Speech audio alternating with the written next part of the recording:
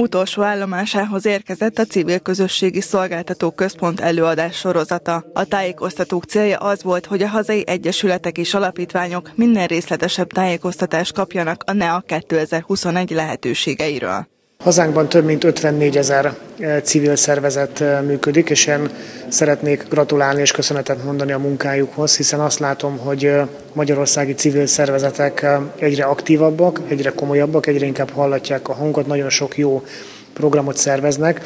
Külön köszönöm azt, hogy ebben a nehéz, különleges időszakban itt, ami ugye járványjal fertőzött, nagyon sokan részt vettek segítségnyújtásban, karitatív dolgokban, például mondjuk véradásban és én külön szeretném kiemelni a hagyományőrzés, értékőrzés területén végzett civil szervezeti munkát. 2010 óta folyamatosan nő a civil szervezetek számára elérhető pályázati források összege. A Nemzeti Együttműködési Alap ezzel teremti meg az egyesületek stabilitását, folyamatos működését. A fő cél, hogy a következő év első negyedévében már megkapják a támogatást, amelyet működésre és különböző programok szervezésére tudnak fordítani. Megyénkben is aktívak a civil szervezetek, és jó pályázó képességgel rendelkeznek. Több száz civil szervezetről beszélhetünk, a legkülönbözőbb működési területtől, a sporttól, a sporttól, egészségmegőrzésen át a e, kulturális hagyományápolásig.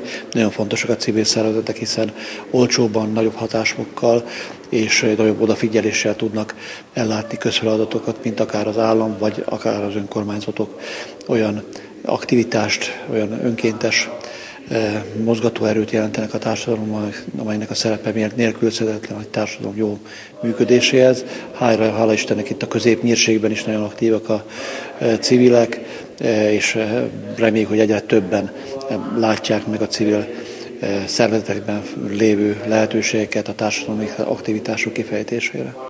Mária Pócson az önkormányzat is segíti a szervezeteket. Van olyan képviselőtestületi tag, aki aktív tagja is valamelyik egyesületnek, még mások a pályázatírásban segítenek.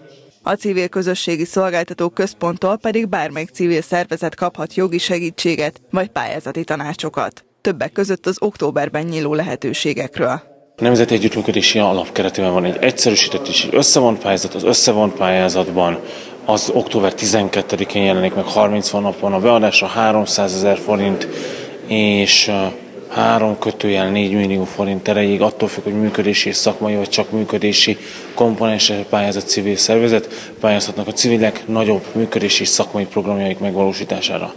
November 12-től nyílik a másik lehetőség, ez az úgynevezett egyszerűsített pályázat. Itt maximum 300 ezer forintra pályázat, viszont itt nincs szakmai bírálat. Itt amennyiben a pályázat formailag kivártlan, abban az esetben támogatást biztosít erre a Nemzeti Együttműködési Alap keret kimerülésig, de az elmúlt két évben ez a keret nem merült ki.